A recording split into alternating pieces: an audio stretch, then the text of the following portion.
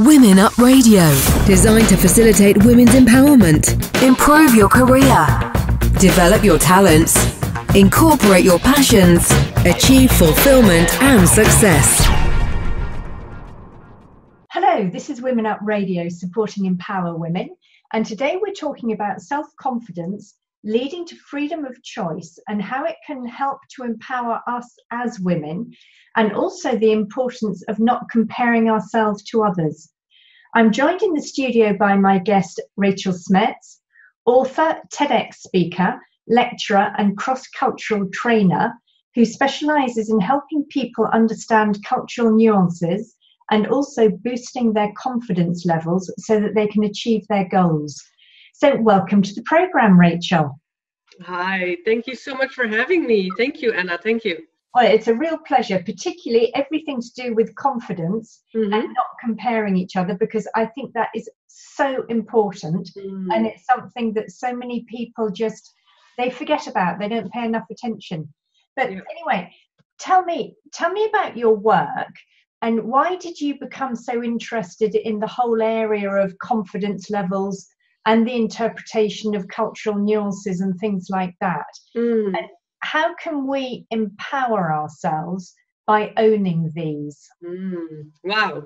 Um, yes, let me start with um, with the beginning. Why yeah. why am I so interested in this? Because because it's it's something I learned myself. Um, let me tell you how I learned it. I started uh, moving abroad about uh, 15 years ago, mm-hmm. and um, just took a big big step. And I thought I want to experience the world abroad, and I don't want to stay in the same country the rest of my life. And especially, I don't want to grow old thinking thinking, what if I had done it? So I thought, okay, Rachel, action, which was not so easy. I mean, there's a lot of stress and a lot of things and a lot of uncertainty, and I can tell you all about that, but I did it, and I did it many times. And um, in the meantime, I've lived in about seven different countries, worked in all those countries. I speak six languages, and I learned so much. And the thing I learned especially was that I grew my confidence all along the way because I was not so confident at first and I was even rather shy. And yeah, I had a lot of stress and keeping that going out of my comfort zone time and time and time again and, and taking action and overcoming fears basically i learned to turn all of those challenges into opportunities That's and wonderful yeah so so um so that's how i became so interested and then last year is also the reason why i wrote it now became a bestseller awaken your confidence why because I learned myself that I can grow my confidence, and I learned that everybody can build and boost their confidence step by step. And it takes work and it takes effort. And what I did in my book is I interviewed 15 people that are very successful, and we'll talk about success maybe later on, but um, in what they do. And the, the, the thing that I really, really want to point out is that all those people around us that we think, because you mentioned comparing, that we think, oh, you know, they have it all. Oh, they're so confident. Oh, they, well, actually, in my book, I can prove you that they had to learn it too just like me just like you just like so i just really want to say look you know if you're feeling less confident, you can work at it and you can learn it. And that's really, really the message that I learned and that I want to give to the people. And why do you think so many of us do lack self confidence? I mean, does it come from our personal life, professional life, a mixture, or is it something deeper mm. or more psychological? Um, oh, yeah, that, that's. Um, I know it's a whole new subject, but. Yeah, no, no, no, no. It's uh, uh, how do we? Well, a, a lot of times it's it's a it's a lack. Uh, it can be it can be a lack of love it can be a lack of self-esteem it can be uh, like you say you know from uh, as a child being being maybe bullied or criticized or um, having to deal with certain circumstances so for for everyone it's a different scenario yeah. Uh, the point is that whatever your background yes. it's okay. And you are here right now right here and you can learn it. Yes. And going a little bit back to your uh, i completely forgot to, to answer your question about um, differences in, in cultures but it is related to this as well because when i say it doesn't matter what background you have it doesn't matter what past you have it doesn't matter what culture you are in yes. It's also something that i learned with moving to all these different countries. I developed a passion in different cultures and i developed ways to deal with differences in cultures and adapt and and and be flexible. And and so yeah so different cultures different backgrounds it doesn't matter. You are unique and you can learn to grow your confidence. Yeah. Do you find this is completely off subject but do you find in the different countries where you've lived and worked when you speak their language and you're with those people you're actually almost a different person so your confidence changes and your way of behaving and reacting changes um, I, yeah, well, you just touched, um, without knowing, you touched another of my really, really hardcore passions, and that's languages. And um, I, like I said, I speak six. I'm even learning uh, seven now, Portuguese. And I just, not only I love it, but it has helped me so much. Like you say, when you speak the language, and it doesn't have to be fluent. If you speak the basic, you can greet someone you can you can you can start with the basic language you get such a different connection with another culture yeah. you really get like oh you know they respect you they, they admire for your effort yes. you get to hear and know things about people of course the more fluent you are you can get into conversations that you can feel the emotion and you can really understand the people and their culture if you speak the language. So i'm i'm all for motivating to learn other languages and i know it's not easy but that's with everything. If you want to learn you have to put in the effort. Yes yeah. And i think there's a big similarity with that um, and the interaction you have even if it's in your your own language mm. with changing i mean and i think this is related to what you're saying about confidence and self-confidence because if you manage to integrate a group and you can adapt to their way of thinking, not giving up yourself, but you can understand how they feel and how they react. Mm-hmm. I think that gives you more confidence as well. But mm-hmm. anyway, how do you think a lack of confidence impacts us as women, particularly in relation to the choices we make in life and career? Because I see so many women who are really talented, wonderful business women, but they still have a lack of confidence mm-hmm. and it blocks them. So why how do you think it, it, it affects us in our career? Mm. Um, yeah, I think a career, and when you say personal, I think about relationships, for example. Um, I think both ways. Um, there's there's a lot of thoughts in my mind when you when when I hear you talking about this subject because for us women, I think also it really matters in what country you live and what culture you're from i think that's it's very you know um, there you are in france i'm right now i'm living in the netherlands women have um, here you know good positions. You know there there is much more equality between men and women. So i think it helps your confidence. I really think that if you live in a culture where you know the man is still you know dominating and there's you know more um, more of a distance and more of an inequality between men and women that's really really much harder and of course like you said it does affect your confidence. Um, also in relationship maybe you choose you know a man with more dominant features if you're in such kind of culture. So i think it it does affect us it does but it does also depend where we are and where we live and on the other hand, confidence is something. Why are we staying in a in a low self confidence sometimes? Is is because I mentioned you know maybe a lack of love or a lack of self esteem and and then we try to when we are in that position we always try to seek our comfort zone mm-hmm. because that's safe you know it's like oh let me just do what i always did and not change too much because yeah in all honesty you know um, change is the enemy of comfort. Change is the, is the enemy here. So you, you just stay in your comfort zone where it's safe. But then you know the saying when you do what you always did you get what you always got. So yeah, yeah. yeah. so what what can we do to change and to increase our, our confidence Ah, now there is a good question. um, I uh, well, when I look at my my my book, and and I can well, I wrote in my book. I actually uh, mentioned eleven confidence hacks, what I call them, and uh, so I can talk a lot about that. But let me just pick a few. Um, there's a lot of things you can do, and the thing is that you can do a mix of things you can uh, pick up one and try to do something you know it, and, and, then and then do something else uh, a while after that the, the the key is of course that whatever i'm going to mention now is it involves practice. It involves repetition. So i can mention a few but it's not going to work if you just try it out once. You know you have to do it again and again and again and it takes time okay? There's no magic formula like drink this cocktail and then you have confidence. Take a pill and you grow you know that that doesn't uh, work like that.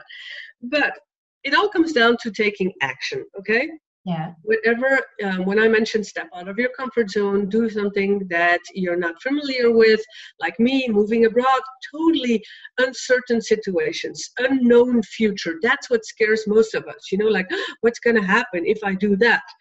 But if you don't do anything nothing's going to change. Yeah. so building confidence always comes with okay take a step take action. Maybe in business maybe talking to someone you don't want to talk to maybe picking up the phone and calling someone and saying something.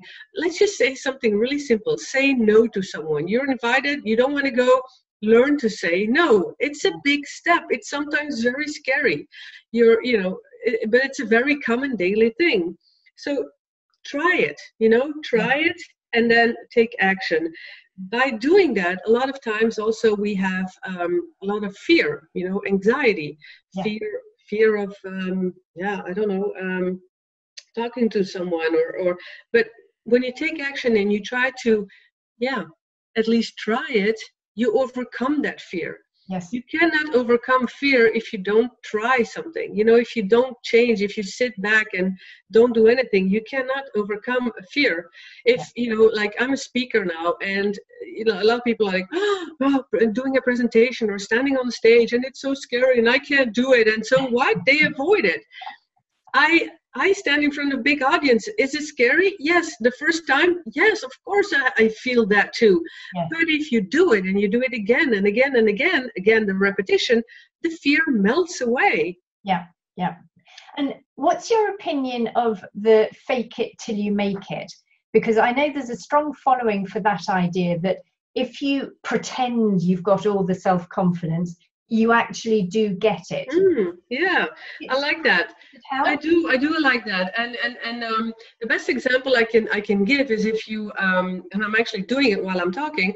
But if you stand up straight, right, and and you put your shoulders back and you put a smile on your face, how can you, you know, do all of that without feeling more confident and feeling better? Yes. You know, if you put your shoulders like you're sitting like little, little you know shoulders down and and your head down and and you crumble up in a little ball you feel yes. less i don't know less worth as if you know but if you think like hey you know like an athlete an athlete who's who's ready to to to to go and, and perform and you put you know yourself up and your shoulders back and you and you smile how can you how can you not feel better then you yeah, know? So absolutely i believe in that i do believe in that no, I, I agree with you with that. If, particularly if I'm tired or lacking in energy, or if I've got some topic I really don't want to do, what you say, standing up straight, putting your shoulders back, putting mm-hmm. your head up, having a smile, it gives you the extra energy. Yeah, and it really has. It makes such a difference. So it. By I just want to add one thing, Anna, is that um, another thing. Like now, I just mentioned something which you can do with your behavior, but a lot you can do. Um, fake it till you make it with your thoughts. Yeah. Because another thing I describe also in my book is, you know, we always, I mean, we hear that a lot, you know, think positive thoughts. And I'm not, I'm not the person saying, oh, you know, life is rosy and everything is positive. No, not at all. But you can change your thoughts. Yes. You know, like you just mentioned, if you need to do something and you keep thinking, like I, I, I have that sometimes, like oh I don't have time and I still have to do that and I can't do it and I don't know how to start and and all of a sudden I I I, I really shout out like stop it Rachel, because it's my thoughts it's my thoughts leading to a not let's not do it because i can't make it anyway and i don't have time and then i completely stop myself i stop my thoughts and i'm like okay hold on i have time i can do this and I change my thoughts. Yeah. yeah. And suddenly, suddenly it works so much better and it's much more pleasant too. Yes, yeah, exactly. You are listening to Anna Letitia Cook at Women Up Radio. Moving on, what about authenticity? Mm-hmm. Because I think this it, it covers both subjects. I mean, frequently we compare ourselves to others, which normally we compare ourselves negatively to others, mm-hmm. and, and that decreases our confidence as well. Yeah. How does authenticity fit into all of this? If you're mm. a, a, quieter person naturally or a, a shyer person, yeah. do you lose your authenticity by mm. boosting your confidence? What do you think about that? Oh, I love talking about this. Let me tell you why. Um, we are all unique. I mentioned that before.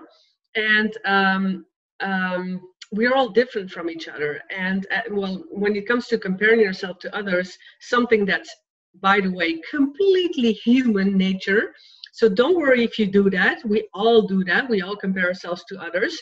Um, but there's a trick here, and I actually did an entire TEDx talk about the subject because it's so human and we do it. But the thing is, we feel so bad sometimes when we compare ourselves to others because we will always find someone who does something that is better than us.